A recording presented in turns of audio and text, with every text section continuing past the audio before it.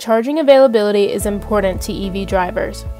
When a driver pulls up to a charging station, he or she wants to be able to plug in and receive power without waiting too long.